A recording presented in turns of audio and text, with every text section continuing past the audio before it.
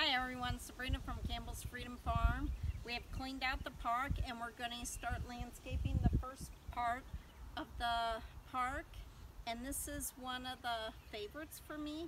It's the rose garden. We're going to do a lot of companion planting and people say, well, you can't companion plant with roses. They're really finicky. And I'm going to show you how you can. So first, I want to show you the beds. I don't mulch anything around the roses because they really like a high nitrogen. So I just use compost in this section. So next, I'm going to put Epsom salt. This is an old-time favorite that you could actually spray on the foliage, and I do every every three weeks, just around the base of each one. Okay, I'm just going to go this far, and then I'll do the next section. I did lose a couple over the year, but I'm going to see what happens. Also, roses like high nitrogen.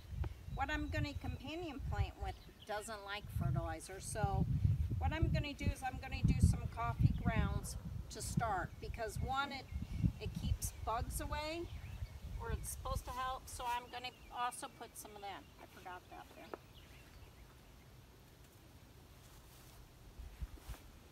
Now, I use a lot of coffee grounds. I hate pests unless they're beneficial. It's like you need to put a sign out. But, um,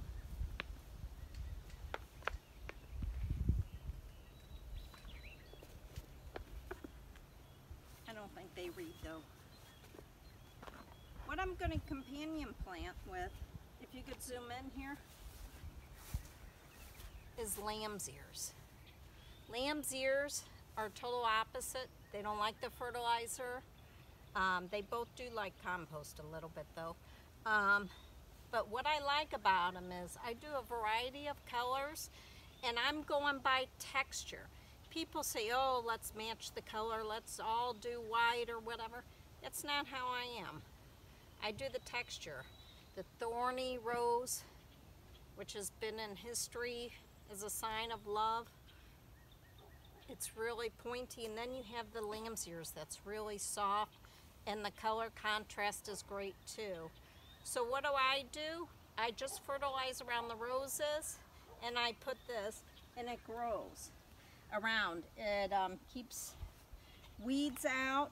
It's just stunning. What I did though is I edged and I have to add more to it, but um, I just love the rose. Something you didn't know about the rose probably is that the oldest rose that they found was a fossil 35 million years old. I didn't realize the rose was that old. You could see why it was in the Bible as one of the three roses. Okay, here's some lamb's ears I dug up from somewhere else. All you have to do, they're really easy forgot my gloves. Um, just put them into the soil. It's really soft here. I redug everything. And the minute I say that, it's not. We're supposed to get some rain. And I keep them a little away from it.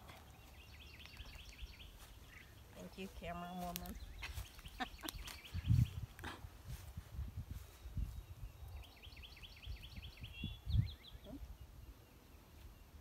These will spread like crazy. After four years, you could divide the clumps, which I'm right at three years for some of these, so I didn't want to overdo it.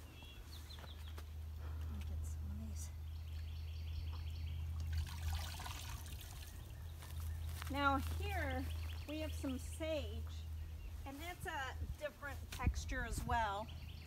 Similar color to the lamb's ears, but it's going to have, you know, the purple blue flowers and it's going to just spread over.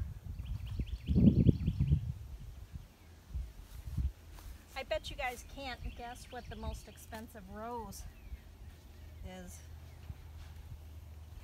I should almost not tell you the answer. In 2006, David Austin, Christian, his Rose Juliet,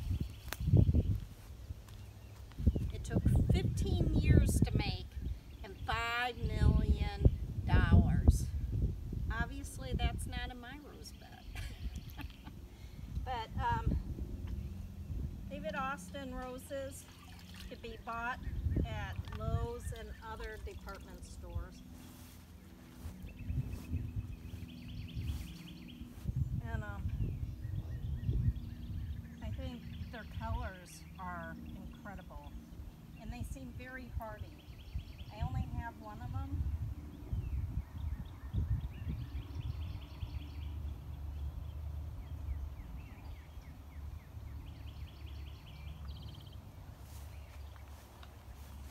Okay.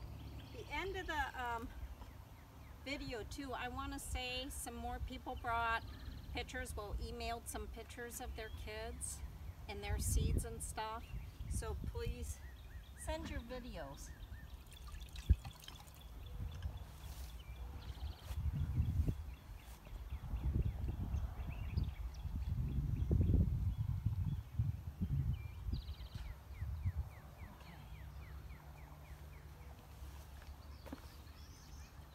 Okay, last one and then I'm gonna have to dig up some. I don't wanna get too close because this folds over both ways. So. right over here maybe. Okay. So I'm gonna end the video here. I'm gonna have to dig some more over there. I let it seed everywhere and do it. But let me take you through a walk through the whole thing and see how beautiful it is. But um, please subscribe, like, and share. Thank you. I just want to show the whole setup here. So I do a lot of yellow and peach roses and white. And I do a few things to throw it off. So I have some blue bachelor's buttons that sit in here in the spring till the roses bloom.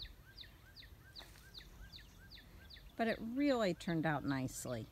Now, after three weeks come and it starts blooming, what I'm going to do, because roses are very susceptible to a lot of diseases, I use the Bayer's Advance. It's a rose and flower care.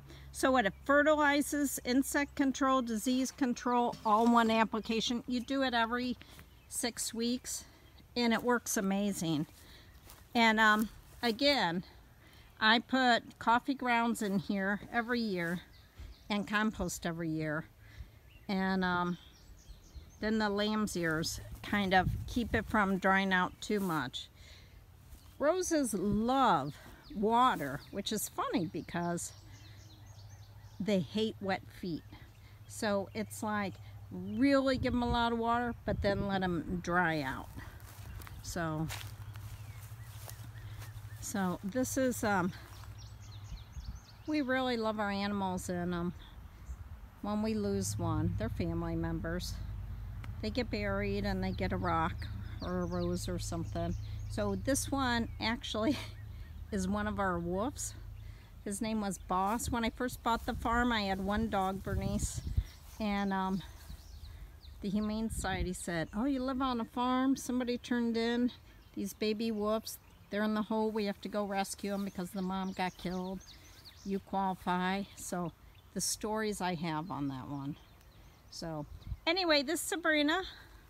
Um, Stay tuned for all the other pictures and go get your roses. Spring is the time to plant them. So it's really a wonderful flower and one of the oldest. Bye.